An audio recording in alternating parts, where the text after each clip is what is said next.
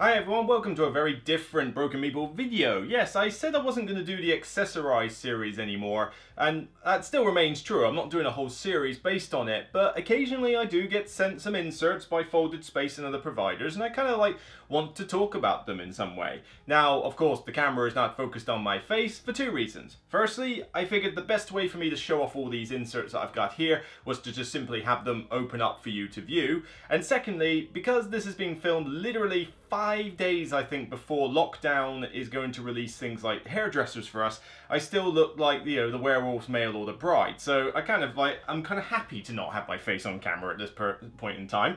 But basically what I'm going to do is that I've got a bunch of games here. Some you can see in shot, some you can't. So there'll be some surprises and some not.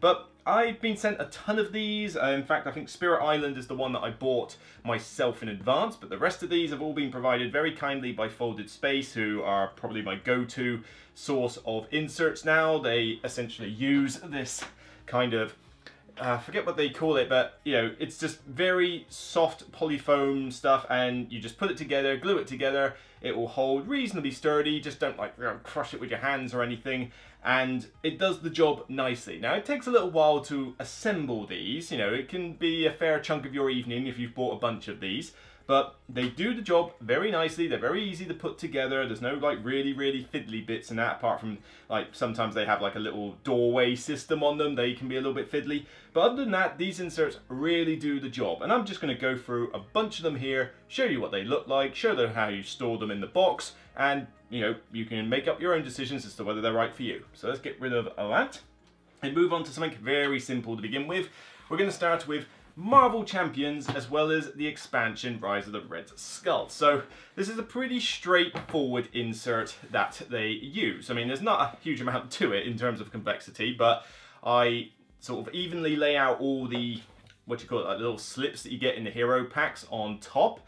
And essentially what I do is after taking all of those out, we are left with the insert as shown. So this one has basically one giant row for those cards and I use dividers off uh, BGG. So um, if I can, I'll get a link in the description, but to be honest, use whichever dividers you like. I personally laminate dividers for all of these LCGs I do. It's a lot of work, but it's necessary to keep things organized. So the time, the dial sits very neatly on top of there in a kind of a little slot so it doesn't protrude. You've then got some very basic little trays for tokens, and there's three of them in the back, so I'm not going to get them all out, but there's one here for threat tokens, there's one in there for damage tokens, and there's this one for kind of any other token, really. Dials fit very nicely in the front of one of these trays, and then after that, it's just a couple of dividers, and you use whatever you kind of system you want really for organizing your cards. So for example, I've got pretty much every hero I have in this line. I've then decided to put the majority of the villains here and here with some of the basic core set encounters.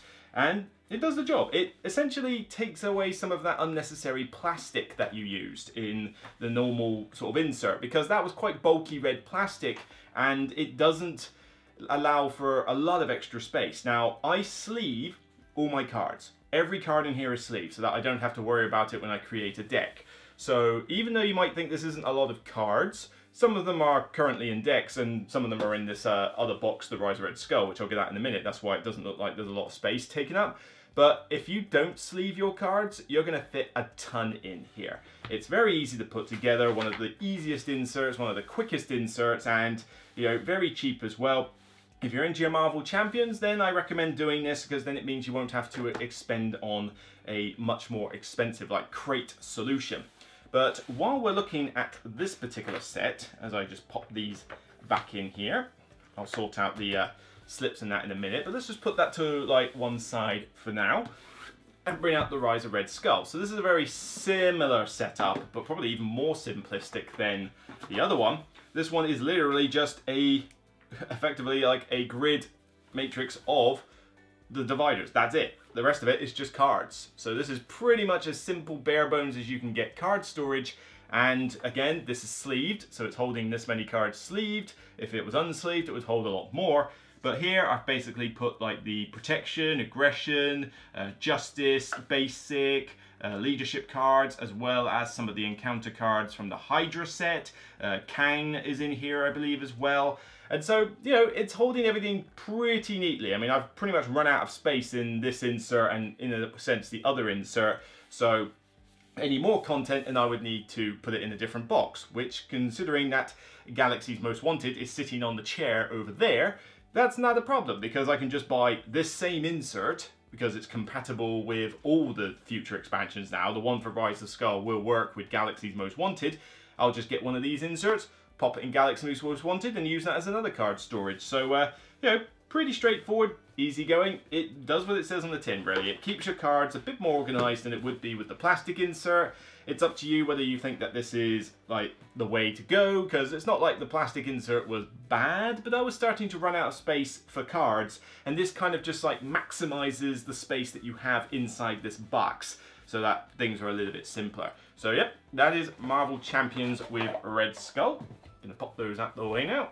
Let's move that over there and put Red Skull over here. Right, now we're going to move on to Pandemic Iberia. Now this insert works with any of these Finbox Pandemic games. So Pandemic Iberia, Pandemic Rising Tide, probably Call of Cthulhu as well, the base set Pandemic. It works with them all, it's basically a universal insert. Now the insert works well, but this is one of those inserts where I'm going to be honest, I don't think it's overly necessary you know, there's only so much you have to bag in a game of Pandemic. But that's not to say the insert doesn't work, but in terms of like the change from using it without this insert and with, it's not a drastic difference. But here, you'll be able to see what I've done. So it's a very easy insert to put together. There's not a lot to it. It's basically just this square grid thing, which I don't advise picking up by the middle if you haven't glued it down and a few trays for basically whatever tokens you want to use. It varies based on you know which set you have as to what tokens will go where. And annoyingly, for some reason, it tells you to put the cubes in the top of this one, but it only gives you three compartments. So one compartment's got blue and black, and then one's got red, one's got yellow. That's kind of weird. I mean, that's just an aesthetic irritation to me, but it's no big deal. It's still easy enough to set up because you've got to get them all out anyway. And then you can separate the cards as you like. So there's a huge space here for cards that I didn't need.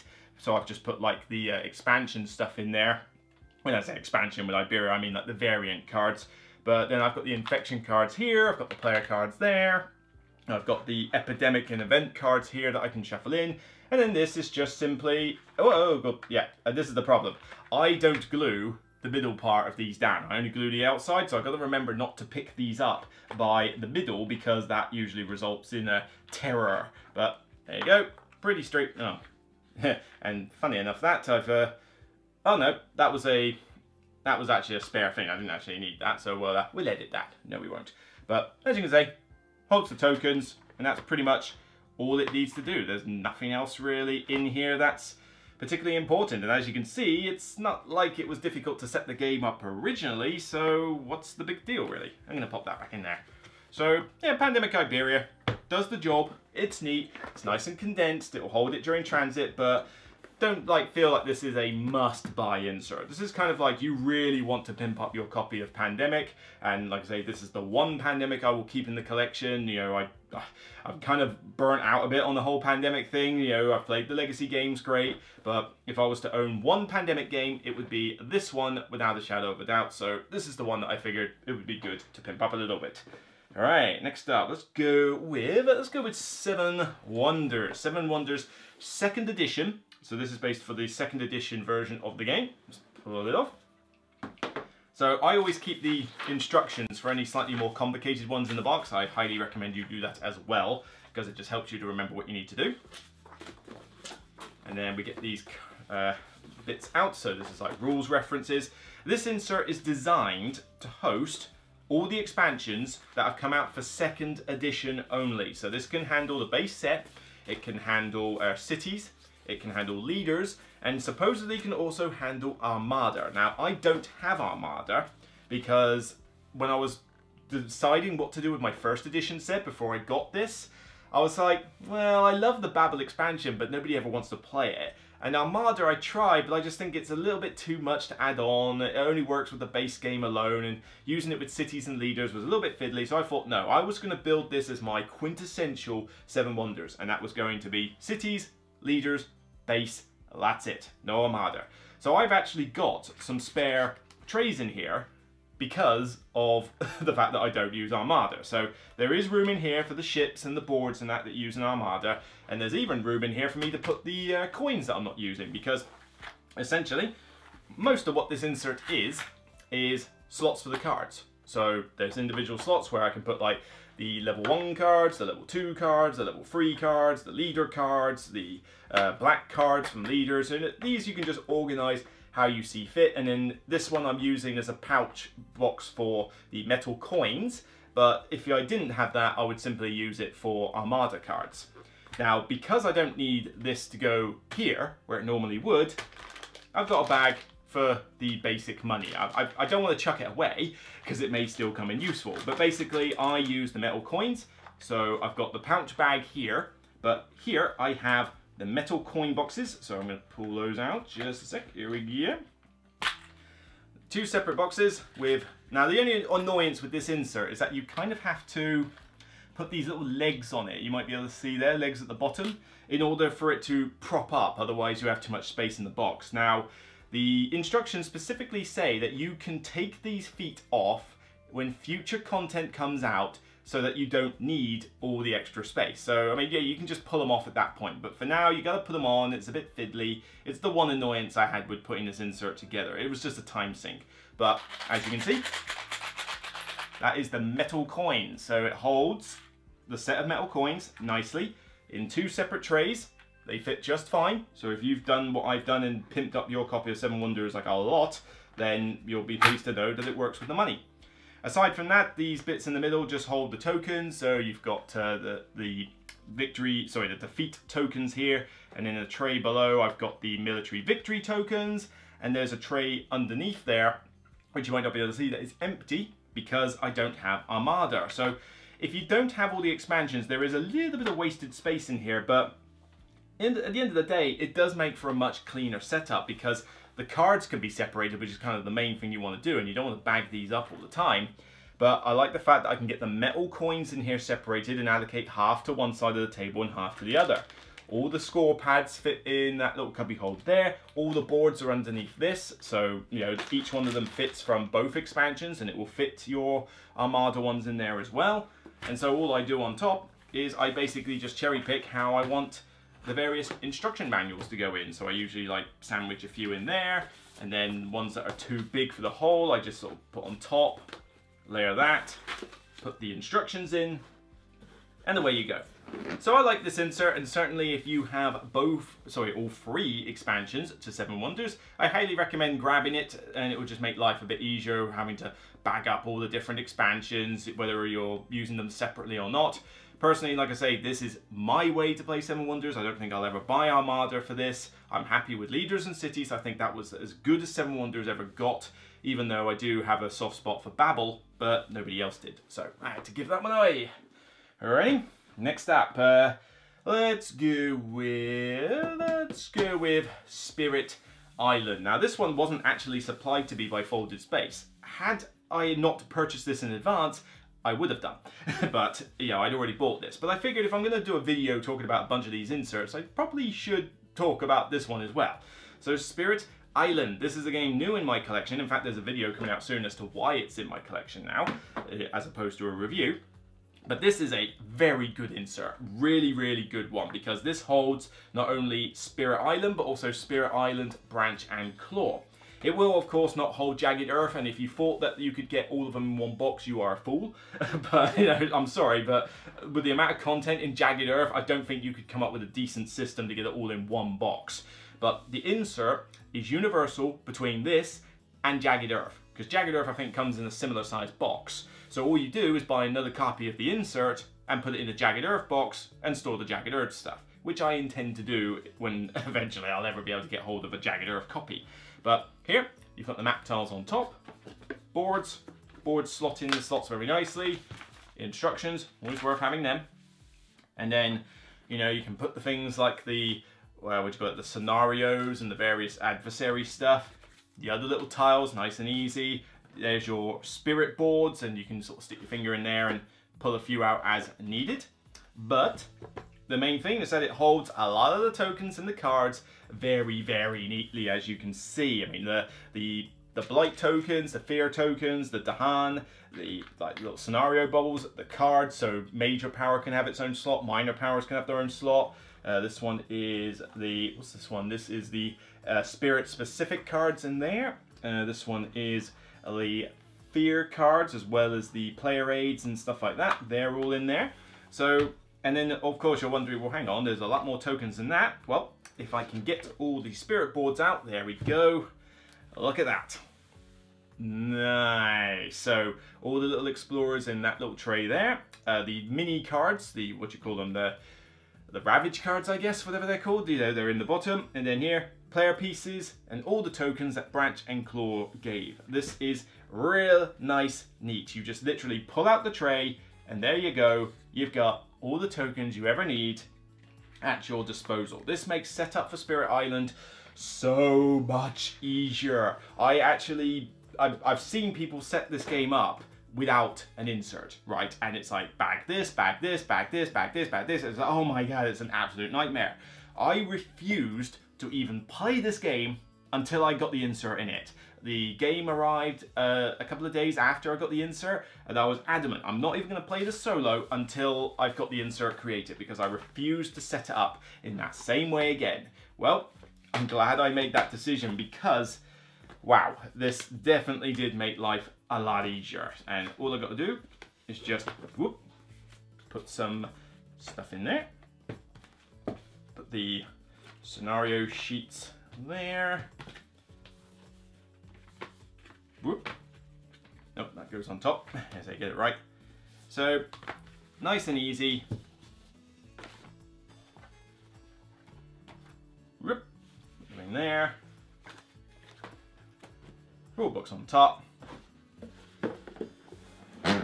And we're in a good position, box fart and all. So, yep, Spirit Island, definitely an insert to consider. Highly recommend this one if you are a Spirit Island fan and you've got the Branch and Claw expansion. And then when you get Jagged Earth, consider it for that box as well. I know I will be. But yeah, you definitely want to look into this one. All right, let's take another one that I think is almost pretty much essential. Civilization A New Dawn. This Fantasy Flight title is certainly not without its fair share of cards and pieces, as you might know, and this also has the Terra Incognita expansion in it. So it's got the instructions in there. Rulebooks for both sit on top very nicely. And yeah, you can see why this game needs an insert. Look at that, that's just the top layer. Wow, that's insane. And I'm also going to give props to this. This is the most innovative design I've seen from Folded Space because, firstly, as you can see, there's a lot of separation pieces wise you need for this. I mean, there are two separate trays for resources and the loot tokens. You've got a tray for every player color with their miniatures, the uh, uh, from the expansion, the district tokens, their control tokens, their governments from the expansion, their little cards, the diplomacy cards, their big uh, tech cards, their dial. So you've got to get all of that in there. And that takes up a fair amount of space as it is. But, you know, being able to simply just go there's my tray. Give it to the player. Done. There's my tray. Give it to the player. Done. And the same for all of these. There's another one. Now the fifth player is done slightly differently. The fifth player is kind of done by two separate trays here. So down here I've got two separate little mini trays for the fifth player. That's a slight annoyance, but to be honest, I'm never going to play this with five players anyway, so as long as nobody wants to be purple, I just leave the trays in the box, not a problem. But for up to four players that I'm willing to do, then there you go. Four players, nice and easy. But look at this. Look at that down there. Everything's at an angle. It's like, huh? What gives? Everything's twisted that way. And that is really cool. So you've got some, because the thing is, you have got the focus rows in here. Whoop, there's another tray for spare tokens and cards. But you've got those focus rows here and they're longer in the expansion and the only way they will fit in the box is from corner to corner. You cannot get them in the box in any other way, shape or form. So there is a, you basically put them in the middle of the box and then certain trays like the wonder tiles and the wonder things here, the uh, natural wonders, the barbarian tokens, the actual uh, faction cards you can have, are rotated and set alongside them at the bottom of the box. But because they are, there's not a huge amount of room for them to go, they're not going to slide around like crazy. And it's just really ingenious. And then what you do is you put the, the board tiles in a space over here. They stack on top of each other because they're all the same shape and you just leave them like that. This is a bag of the redundant components uh, that the expansion replaces because the expansion says replace certain cards and you don't need these anymore and I basically bagged them all up and it com comfortably, better if I do it the other way up, there you go, it comfortably sits on top of that pile of tokens there and doesn't intrude with the insert. And then everything is just a pull-out tray. It's a really, really good insert. I mean, this will improve the setup time for this game like tenfold, honestly. And I love how they got around the focus row bit at the bottom there because I thought, how are you going to manage that? That just seems like it's like to impede on any way of making a good insert. And I had an E-Raptor insert in this one before and it struggled a bit with you know, it could only do the base set components. It couldn't really handle the expansion that well. This one though, handles everything. All nice and neat. Expansion rulebooks, everything on top. Sits flush, doesn't even, you know, even sit above the lid. It is a wonderful insert. This is hands down a must buy. I, as much as I say Spirit Island is a must buy with that insert, this is a must buy. You've got Civilization with the expansion and you haven't got an insert, you are just making life harder for yourself. And finally, Lost Ruins of Arnak. This is one of the newest ones they've done alongside Civilization. One of my favorite games, certainly my favorite out of 2020. Sorry, Dune Imperium fans, it's just the way it is. But this one has a great insert as well, uh, although it wasn't too bad to set up before with baggies, but this is still an improvement. The boards kind of just sit on top as you can, so the big board and annoyingly the little sideboard has to be kind of separate and just not really go in a slot. But, oh well, you know, minor quibbles. But here, pretty straightforward insert when you get down to the nitty gritty of it. So your player boards sit in this bit by themselves. So I want to pull them out here. And what there is, is there's essentially a platform bit underneath which does nothing except for prop up the boards. So you've actually got extra space down there. If they were to throw an expansion into this and it wasn't too much, uh, shall we say, too much in the component side of things, you could fit some stuff underneath the boards. So there is room for future growth here, potentially. It depends what Czech Game Editions does. But everything else is pretty bare bones straightforward, to be perfectly honest. I mean, you have trays, you have like big long trays to hold the cards and the people. There's another one below there for fear cards and the sort of starting player cards. You've then got individual trays for the tokens. So there's one for jewels, there's one for coins, there's one for compasses, there's one for arrowheads and etc. And they all stack in very nicely. Uh, this one here holds the solo tiles, and that's the solo tiles from the main game. If you've print and played the uh, the revised tiles, then you'll have to like swap them in, or to be honest, put them in there. Put them in there. Like I said, you know, it's easy enough to fit them in, but the solo is kept separate from the multiplayer element, which is always good. Nice simple tray here for people. And underneath the temple tiles, so if I can tilt that a little bit more, eh, hopefully you can see the temple tiles in there. But again, everything just slots on nicely. You don't need a separate box to separate player pieces because pretty much you're just giving them a couple of meeples and a couple of little compass things. Big deal. And then you've got the various exploration tiles in their own big slot as well as the smaller ones, the guardian ones in their little slot. So, you know, different sizes that accommodate for everything. And everything just slots in. It fits sleeved cards because I have sleeved my entire uh, set of this. It's a very straightforward insert to be perfectly honest, but I think it does make a decent difference in you know, keeping everything nice and neat and secure. Stuff just pops on top. And then we put all these back in. So board just sits on top of everything.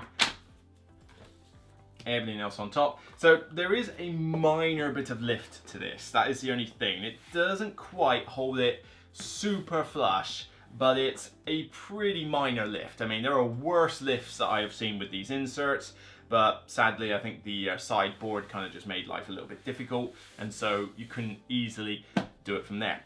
All right, whew.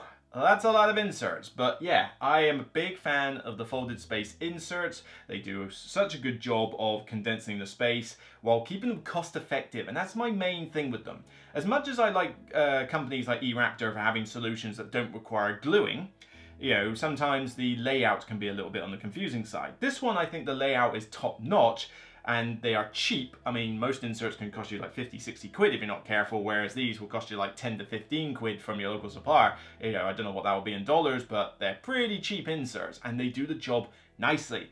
The only downside with them is that you've got to glue them together. So you've got to pop them out, get them organized, glue them, let them set, put them in. It's a bit of a time sink, particularly if when you've got this many games to do. Yes, it took up a lot of my day to do that during my time off, but like I say, it's worth it because now these games are much better organized and, you know, in some of these cases, like I say, out of all these ones, I think the must-buys are definitely these two. I think these two are the ones you really need to hunt down the inserts for if you have these games fully expanded. You can get by, I think, without desperately needing the Marvel Champions stuff if you feel you've got a solution already, but that depends how much of it you're collecting. And I would say that the weakest one of the lot is probably the Pandemic one. Not to say it's a bad insert, but it's just not the most, like, oh my god, I require this insert type thing. It's not the most sought after one, but it's very cheap, very cheap and very easy to put together, a very quick one. So it does have that advantage. And Arnak and Seven Wonders are pretty good as well, standard. But these two are definitely my top scores for folded space inserts. These are must buys. So that's it for me on this video. Hopefully it was clear to you. Hopefully you could see everything on the camera and that, and this is a little bit more condensed than trying to do one video for each insert.